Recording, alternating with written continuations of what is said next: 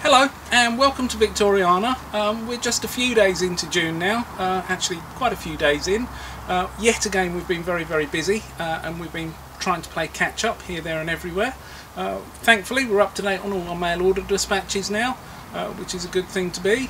And um, we've actually had our polytunnel extended. This is our veg tunnel which has basically been doubled in size. Uh, the guys who did that were a little bit late on doing that as well because they're playing catch up. Um, so we've literally only just moved the tomatoes in and um, I'm now in the process of tidying them up and getting them side shooted which is quite a mammoth task because they've been squashed quite together and uh, a little bit neglected. Um, but elsewhere on the nursery we're also very busy and um, trying to get caught up all round so I'll give you a quick run round. So despite the nighttime temperatures, which um, up until even last week have been actually quite cold, uh, the flower area is starting to look quite cheerful. Uh, sweet peas have decided to start growing and clambering. Uh, the lupins are obviously flowering well and um, some of the poppies are coming into flower as well now. And um, we've also started planting some later things like uh, sunflowers etc. And um, way over there, way too far to go and find, um, begonias etc so uh, really pretty and, and, starting to cheer up nicely.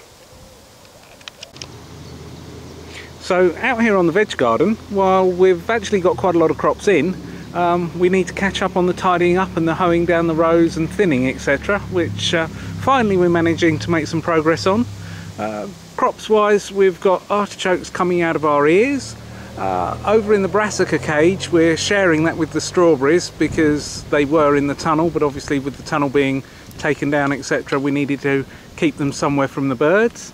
And um, over here the Jerusalem artichokes are growing away nicely uh, so we'll be able to lift those come the autumn. And uh, finally Simon has got round to uh, putting in the new herb beds restoring the herb beds and uh, now it's just a case of replanting. So I think we've just about pulled everything out that we don't want. And uh, we can start afresh. So uh, all going well out here. We just need some nice dry weather so that we can have long days working out here and, and we will catch up. Here in the frame area uh, we're nice and straight. It's that time of year where we have crops running through quite quickly. So it's a case of keeping up and tidying up and blocking back up and then obviously moving out the, the freshly grown crops from under glass and uh, it's a sort of constant battle to keep everything where we want but um, we seem to be on top at the moment. Here in the top house we have masses underway. Uh, we've got uh, fresh asparagus over there that's grown away, that'll obviously be a crop for next year. Uh, lots and lots of other smaller batches of perennials and uh, one or two veg as well and things like our creeping thyme lawn etc. Um, one thing we do need to deal with quite soon are our sweet corn. Now nighttime temperatures were cold so we prefer to pot them on and grow them on under glass rather than planting them out and let them languish. Uh, and some of these will actually also end up in the tunnel as well. So that's more or less a job for tomorrow because now things are warmed up outside and overnight, um, they want to get their feet in the ground and grow away as quickly as they can. So yeah, no, we're pretty full up here, pretty chocker, and uh, as always, things are constantly on the move.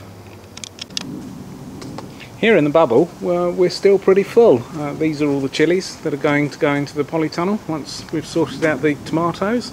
Uh, we've still got the bush tomatoes to sort as well. Um, but as always, the fuchsia house is pretty full, obviously with fuchsias, but uh, we're continuing to prick out and use the space in here before moving things up to the top greenhouse because it has literally only been the last week, 10 days that it hasn't been that chilly. But um, yeah, no, so we're pretty full and now we're quite happy with the chilies. They're finally grown away quite nicely. Uh, now things are a bit warmer and just look forward to moving them very soon. So I'll finish off this month's clip up here in the orchard, which uh, if you consider has only been planted just over a year, uh, is looking rather splendid. I think we're actually going to see a little bit of fruit here and there on one of the two of the trees. Obviously we've got a bit of summer pruning to do later on. Um, but no, very, very happy with how this is established and uh, it's going to make a lovely spot for part of our chili festival as well. So uh, that's it really for June. Hopefully a bit more time in July for a, a bit of a longer clip and uh, hopefully we'll be a bit more advanced here, there and everywhere.